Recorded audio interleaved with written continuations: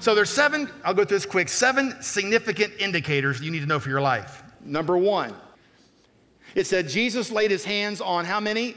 Each. Each one means one at a time. Right? One at a time. Here's a phrase knowing what you should lay your hands on is a significant multiplier. In other words, Jesus laid his hands on his disciples in Mark 6 and sent them out as in 12 to do what? Lay hands on the sick. Then he sent out 72 in Luke chapter 10 to do what? Lay hands on the sick. Then he sent the church out in Mark 16 to do what? Lay hands on the sick and they shall recover. See, Jesus had a choice what he laid his hands on. He could lay hands on each person one at a time and he'd have a great meeting, but he understood the significance was tied to his purpose and he laid hands on his people and he sent them out, thus multiplying his mission. In this day and age, it gets really blurry because distractions, distractions, distractions fight against urgency and the plan of God. And before you know it, you've lost the edge, you've lost the urgent, you've lost the mission, you get all blurred and fatigued. Right? So here's the question you need to ask great screwdriver, big screwdriver, little screwdriver. This is a great blank, but does it add significance? Does it have a major effect and result in influence in relation to my assignment? Your you say, well, I got a lot of stuff in my house. Well, your, your mission, your assignment, your purpose must be pretty small if you can't declutter. If you have trouble decluttering, you got a small vision. Because a large vision causes you, what can I afford to lay my hand on? Everything you own owns you. You got to wax it, change the oil. I got to detox. I got to be lean and mean. I got to make sure I know what I'm doing. So here's the question Does this serve my purpose? go home Monday and say, Does this serve my purpose? Does this collection of 3,000 beanie babies serve my purpose? well, you can sell them, I don't know. Or does it, does it um, proclaim its purpose? This is too great to throw away. You ever said that? This is a great whatever. I can't get rid of that. Oh, tell me how that fits into your significance. Well, it doesn't. I just think it's a great, it takes up room, Ah, it gets tough. Again, your vision's too small if you can't declutter. Do you need it? Amen. Number two of this, of the seven points, Jesus knew who he was, his uniqueness. His uniqueness. And uh, I told the church a few months back, Drenda and I were in Paris, uh, I don't know, a year or two ago, and in the springtime, Paris, of course, sets all the fashion. You know, black is the new black. Did you know that? No, it really was. That year, black, gray and black was the new black. And if you look down the streets of Paris, every single person had black or gray on.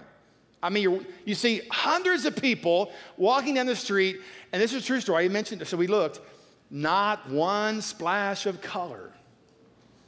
But that's weird because you're made colorful. See, you're not made like everyone else. And when you buy into being everyone else, you can be accepted or not, you know, you lose your uniqueness. Am I right? You, you're unique. Your uniqueness is your value. Jesus knew who he was. He couldn't stay there, he had to move on. Number three, Jesus had to pray. He took time to pray. He needed to hear God. Yesterday's strategies would not work tomorrow. Number four, again, these are significant uh, multipliers. He was not moved by people. The opinions of people did not, please stay. Please, you have a great meeting right here. No, I must go on, for this is why I was sent. Can you define why you were sent? Can you define your purpose? Is it easily defined? What are you doing? They tried to keep him from leaving, he said, but I must proclaim the good news of the kingdom of God to the other towns, also because that is why I was sent. Doing great things is no replacement for doing significant things. You have to discern the difference. Understand this you can only say no when you know your yes. This is important. You can only say no when you know your yes. And this is why people get distracted. They don't have a yes. This is why salespeople fail. They don't have a yes. They don't know, they don't have a track. They don't know what to do. They're just kind of hoping. And if you hope to end up somewhere, you're not going to get there because you have to know the blueprint to build the house. Where should you be doing it? Jesus said, I need to go to the other towns of Judea as well.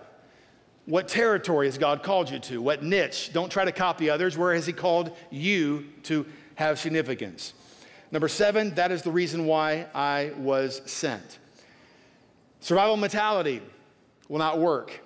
Distractions will take you every time. Here's a key going on vacation, when you go on vacation, how do you act? The week before vacation, how do you act? You get up at 5 a.m., you work till 3 o'clock a.m. Why? Uh, do you? A week, you're going to the Bahamas, you got a week, and what happens? The house gets completely cleaned up, all the bills get paid on time. The office, for the first time in 12 months, is now clean. Papers are not scattered all over the floor. All the phone calls you were supposed to be making have been made, and you now feel okay, we can leave. Why? What's the difference?